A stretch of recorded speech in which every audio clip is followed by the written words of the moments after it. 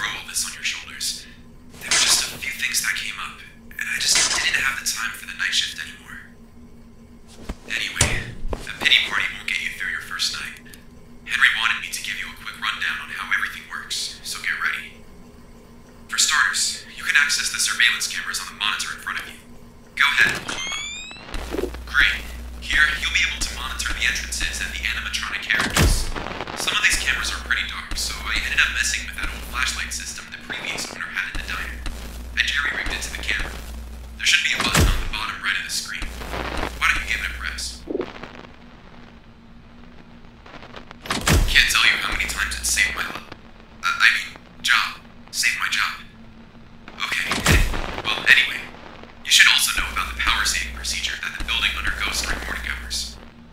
Lights flickering, electrical noises, and even sometimes short outages.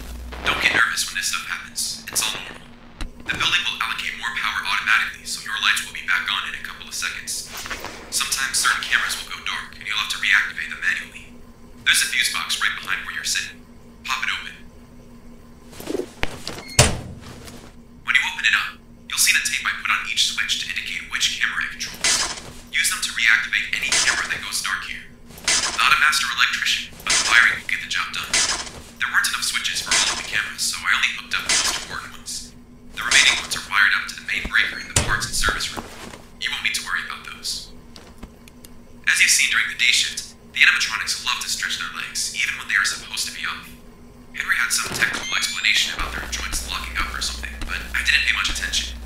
If you don't see them on the cameras, you can check the hallway